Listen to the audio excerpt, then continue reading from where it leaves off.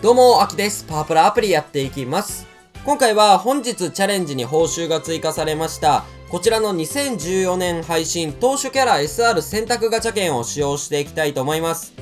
今回のチャレンジはチームランクが B+++ になれば達成ということで、CM 公開記念 SR 選択ガチャ券の時とかとは違って、それなりにね、パワープラアプリ遊んでる方じゃないともらえないガチャ券だと思いますので、まあ僕の初心者解説みたいなものは必要ないかなとは思ったんですけれども、まだ本当に最近 B++ になったばかりのね、えー方だと、この中のキャラクターで使ったことないよっていうキャラクターも多いかなと思いましたので、まあ1キャラクターずつ、このキャラクターはこういう特徴のあるキャラクターですよねと、まあ簡単にね、お話しした後に僕もね、今回のガチャ券使っていければいいなと思います。はい。ではまず最初に、もし本当にこの中で1キャラクターも持っていない場合であれば、このキャラクターを強く押したいと、個人的にですが、思うキャラクターが2キャラクターいるので、そのキャラクターのね、お話からいきましょう。はい。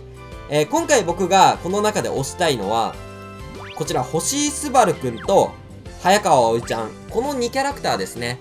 はい、この2キャラクターに関しては、全然、うん、現環境下でも、えーガチ編成に入ってくるようなキャラクターなので、ぜひぜひ持ってなければ選んだ方がいいんじゃないかなと個人的には思っております。まあ、二人とも共通して言えるのが、変化球キャラで、えーオリジナル変化球を教えてくれるっていうとこですね。はい。で、二人とも、えっ、と、固有ボーナスを持っていて、全然ね、テーブルは悪くないなと未だに思いますし、えー、っと、本当に、いわゆるアヘヘンっていうやつですね。どの高校でも大体アヘヘンってね、まず主流の一つになってくるような編成なので、今天空でもアヘヘンできますし、まあ、黒金の変化攻略とか、えー、と、全然、こう、現環境下でかなり強い選手を作れるね、デッキ構成になってくるので、そういう点でもやっぱり、変化球キャラっていうのはいいのかなと思います。特にね、折り変教えてくれると、本当に、うん、変化量6677じゃ収まりきらない。3方向を取りたいという時に折り変って本当に便利なので、そういう点でもね、ぜひ折り変キャラは1キャラクター持っているとね、いいんじゃないかなと個人的に思います。じゃあ、スバルも葵もね、どっちも持ってなければどっちを選べばいいんだっていう話なんですけど、えーまず、前後が違うので、スバルは前イベ、葵ちゃんは後イベなので、例えば後イベキャラを多く持っている場合はスバルを選べばいいですし、えー、前イベキャラを多く持っている場合は葵ちゃんを選べばいいっていう感じですね。あとは、葵ちゃんは立川とコンボがあるので、立川をね、持ってる方は葵ちゃん選ぶのもありですし、うーん、あとは何でしょうね。例えば、悟り持ってるよっていう方だと、そのか、骸骨の環球骨持ってるので、葵でもよしですし。はい、そんな感じですかね。うん。ここは本当に、えーっと、まあ、B++ になってれば SR もそれなりに枚数持ってると思いますので、自分に合った方でね、いいんじゃないかなと思います。っていうこの2キャラクターをね、まあ、個人的には押していきたいなっていう感じです。はい。で、続きまして、じゃあ、本当に、葵ちゃんもスバルもたまたま持ってたという場合、次に押したいキャラクターが、まあ、2キャラクター、3キャラクターぐらいかな。僕の中でいるので、そっちのお話いきましょうか。はい。えー、まずは鈴本ですね。はい。次のレベルで押したいとなると、鈴本入ってくるかなと思います。まあ、魅力は何と言ってもこの特能の多さですね。対左とか伸びとか玉持ちとか優秀な特能も持ってますし、うん、この辺を潰してあげれれば、めちゃめちゃね、やっぱり強いキャラクターだなと思いますね。やっぱり現状投手サクセスって、いかに特能をほぼ全取得に近いような形で取って、あとは基礎値を上げていけるかというところだと思いますので、特能のね、多さっていうのは結構魅力的だなと、未だに思います。はい。まあ、テーブルも試合経験点テーブルなので、まだ本当に B++ になったばっかりとかだと、全然重宝してもいいテーブルだと思いますね。うーん、ただね、やればやるほど、やっぱタックで稼ぐような、えー、っと、テーブルを好んでくるようになると思うので、そういう点ではちょっと物足りないですね、テーブルが。はい。あと、金徳が確定じゃないというところで、スバルと葵ちゃんとはちょっと分けさせていただきました。はい。で、鈴本と同じレベルで、あと押してもいいんじゃないかなと思うのが、浜崎。いやー、これ個人的な話ですけどね。はい。なぜこいつが本当に人気投票、買いキャラにね、最初選ばれてしまったんだろうと未だに思いますね。金徳は確定。まあ、テーブル的にも、えーと、これは9、えーっと、あれか、タックとやる気テーブル。まあ、小田切と同じテーブルかな。ただまあ、そんなに弱くはないですし、金徳は何より確定っていうとこがいいですよね。はい。不屈の魂かなが確定なので、そこがね、一番評価できるかなと思います。金徳確定ってこの中だと少ないんじゃないか。折り辺金徳が確定なのって結構少ないような気がする。うん。靴の魂っていうなかなかね、悪くない金徳が確定っていうのが、普通に僕はね、強いなと思っております。まあ弱い点挙げると、このテーブルより強化された、完全に強化されたテーブルが存在するっていうのと、金原とかのテーブルですね。がこれの完全強化版になっちゃうのかな。っていうのと、あと特能がちょっとね、もうちょっと良ければよかったなっていう、そのま、金徳の骸骨だけでも最低持ってればよかったな、なんていうのはね、少し思うところではありますね。えー、ただ一応まあ、イベントでね、打たれ強さコツ1は取れるのかな。なのでまあ、なんとかはなると思います。なんとかはなると思うんですけど、ちょっと特能が残念かなっていうのはありますね。はい。で、あともう一人が久方ですね。うん。だからここまで。この5キャラクターまでかな、個人的に。選ぶなら、選ぶならこの5キャラクターまでかなと思ってます。はい。あとは久方ですね。その5キャラクターの最後のキャラクターが。このキャラクターも、まあ、特能が一切なし。っていうとこは残念なんですが、いわゆる試合経験点テーブルっていうやつで、えー、何よりあとイベント経験点がいいのかな。はい。なので、まあ、どういった点でいいかと言いますと、例えば今後、ほとんど練習をしないような高校が現れる。なんか、練習コマンド以外のコマンド、まあ、ダンジョンとかがそれにちょっと近かったりするのかな。練習コマンド以外のコマンド、まあ、もしかしたら天空もそういったものかもしれないですね。タックよりもハートを拾うっていうところで。あんまりタックを気にしないでいい。プラス、コツイベントもそんなに追いかけないでいいっていう高校が出てくれば、まあこういうキャラクターはね、今後生きてくるのかなと思います。ただ残念なのが、金徳も確定じゃないし、えー、金徳がかつあれなんですよね、驚異の切れ味っていう一番ね、他のキャラクターと被りやすい、投手で一番被りやすい金徳なので、そこは残念かなとは思いますけどね。はい。うん、ただそういう点で、えー、一ついいんじゃないかなと思います。はい。よいしょ。では、まあ、可能性はあるキャラクターとね、しておきましょうか。はい、まあ、取るならこの5キャラクターまでかなと僕はね、思うんですよね。ただ、浜崎はね、個人的に推してる部分があるので、えーと、まあまあ、本当に軽く聞き流していただければっていう感じです。まあ、ただ、スバル葵ちゃんっていうのは、あのー、誰しもが推すキャラクターだと思うので、本当にこれはね、持ってなければ、取っておきましょう。あ、あとただ、スバルは暗黒スバルっていう別バージョンのね、ちょっと使いにくいけれども、金徳折り編が成功さえしてくれればかなり強いキャラクターがいるので、まあそのキャラクター将来的に手に入れるかもっていう話で言うと、葵ちゃんでもいいかもしれないですね。まあ葵ちゃんも水着葵とかはいるけれどもね、確かに。はい。っていう感じです。で、えっ、ー、と、あとはあんまりおすすめしないんですが、まあ一応1キャラクターずつね、それなりの特徴は捉えておきましょうか。はい、山口はテーブルがまずよろしくないです。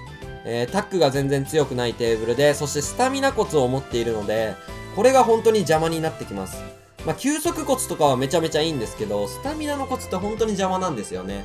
まあ、理由がスタミナって、スタミナ練習すれば直上がりしていくので、できるだけ最初の方にね、その、経験値、少ないうちに上げておきたいんですけど、そこはまだスタミナコツ来てないし、いや、来たとしてもほとんど割り引いてくれないしっていうところで、これが単純に邪魔っていうのと、うん。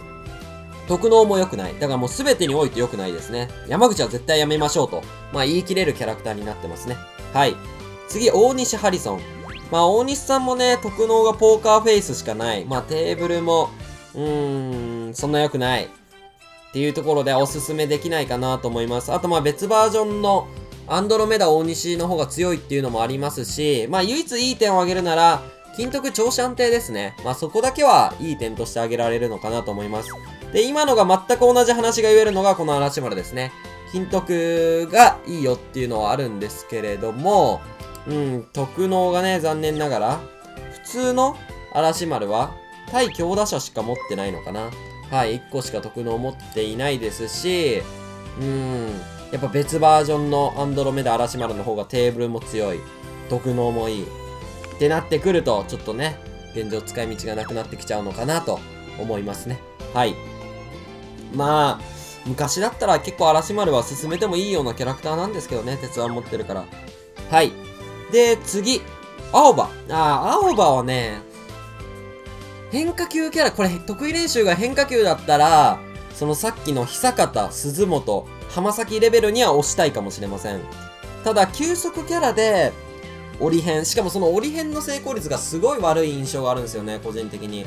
あんまりいいっていう話も聞いたことないですし、うん。折り辺ね、スライダー、めっちゃ速いスライダーを教えてくれるんですけど、それが確定で成功するような感じだとまだ押せたんですけど、テーブルが、表かな？表はあんまりタックが強くないっていうのも残念ですね。もう一ついいのが、特能はいい。うん。特能はかなりいい特能を持ってますね。対ピンチ、奪三振、綺麗投手、対強打者、重い球。特能はかなり優秀です。で、折り辺も成功すればいいです。っていう感じですね。なのでまあ、ハリソンとか山口よりは全然進められるかなっていう感じです。ただ今回進めないのは、いや、折り辺取るならこっちかこっちでしょっていうね。そこが大きすぎます。同じ折り辺、折り辺1個しか取れないので、折り辺は2個は取れないので、それを考えると、葵ちゃんスバルでしょ。じゃあ、葵ちゃんスバル持ってな、持ってたらじゃあこっちでもいいのって考えると、いや、そしたらこっちの上限解放進めるでしょっていうとこですね。はい。っていうとこで、今回はおすすめできないかなと思います。はい。で、碇守る。碇守るもね、まあ、先日選択ガチャ券で僕選んだばっかりですが、それも暁守の解放をね、進めようとしたので、別バージョンは強いんですよ、暁守は。ただ、通常の守は、うーん、うーんっていう感じですね。ライジングキャノンがこれも確定だってよかったんですけどね。まあ、ただそれも残念なのがオリジナルストレートとオリ編両方一緒には取れないので、やっぱり怒りも守も違うかなと思います。はい。よいしょ。で、えっ、ー、と、タルモト。タルモトは、うん。たまに僕はあれですけどね。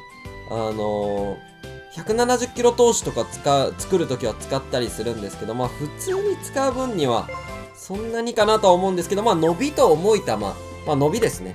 がほぼ確実にコツを抑えられて、まあ、金徳も成功してくれれば悪くはないキャラクターかもしれませんね。まあ、割と今回ね、大西さん、そして山口のことはディスってしまいましたが、種本はそんなにディスりたくはないキャラクター。ただ優先して取るかどうかって言われると、ちょっと違うかなっていう、うん、ところありますね。金徳が確定だったら怪物9位だったので、ちょっとおすすめできた部分はあったかもしれませんね。はい。で、葵ちゃんはさっき説明した通り、久方もさっき説明した通り。で、銭形ですね。まあ、この子は、本当に、投手の中で唯一のね、はい、特徴を持っているこの守備キャラっていうところですね。投手キャラクターの中で、唯一の得意練習が守備キャラということで、まあそういう点ではね、僕も銭形持ってないので、今回取ろうかなとも思ったレベルだったんですが、まあとはいえでもね、やっぱテーブルとか、いろいろ考えた時にイベントとか考えた時にちょっと違うのかなと思いました。特能もね、あまり持っていない対左を持っているということで、これね、一つ思ったのは天空には使えなくはないなと思ったんですよ。対左とね、うん、対ピンチ持ってる。ただ強心臓なんで金徳がやっぱ対左のことだけか。対左がまあほとんど抑えられそうな感じなので、銭形入れれば天空で左キラー取れるななんて思ったんですけど、銭形入れれば逆に強心臓が狙えなくなるのでダメですね。はい、ダメです。天空で使えるっていうこともないので、現状はダメなんですけど、もしかしたら将来的に化ける可能性は、なきにしもあらずという感じですかね。はい、で、鋼。鋼はね、修正来てイベントの経験点はすごくなったなと思うんですけど、まあ、特能がちょっと少ない。まあ、伸びが抑えられるっていうのはいいんですけれども、あと、まあ、街道っていうところですね。金徳が街道っていうのもちょっと足を引っ張るかなっていうところです。はい。あと、スタミナキャラにはぜひ得意練習率アップを持っていてほしいという個人的な思いもあります。まあ、ということで、まあ、本当に、まず葵ちゃんスバルでいいと思います。もう、なんなら葵ちゃんプラス5になってなかったら、もう葵ちゃんでいいような気も個人的にはしますね。葵ちゃん持ってれば上限解放を進めるっていうだけでもいいんじゃないかなと、個人的にしております。こんな感じでございました。はい。悩んだらスバルか葵ちゃん。これで間違いないとは個人的に思います。はい、ということで、僕は今回何を選ぶかというと、スバル選びます。えー、スバル。このスバルは、実はもうプラス5なんですよ。来ましたね。全然解放の進まない暗黒スバルの上限解放をね、やっていきましょう。全然解放が進まないんだ。ただね、暗黒スバルね、もちろん強い。通常スバルよりも強い場合はあると全然思っている。がしかし、あまり僕は使わない。何度今まで泣いてきたことか、本当にね。いや、何度ガラスのハートをね、もう僕リアルの世界でもガラスのハートすぎてちょっと最近色々あってね、ちょっと今メンタルが折れかけてて本当にね、この2日ぐらいね、喋るのがね、辛いんですよ。そんなガラスのハートの僕がね、このゲームの世界でもガラスのハートを取りたくない。ただね、やっぱ魅力的なキャラクター。だから上限解放50%でいきまーす。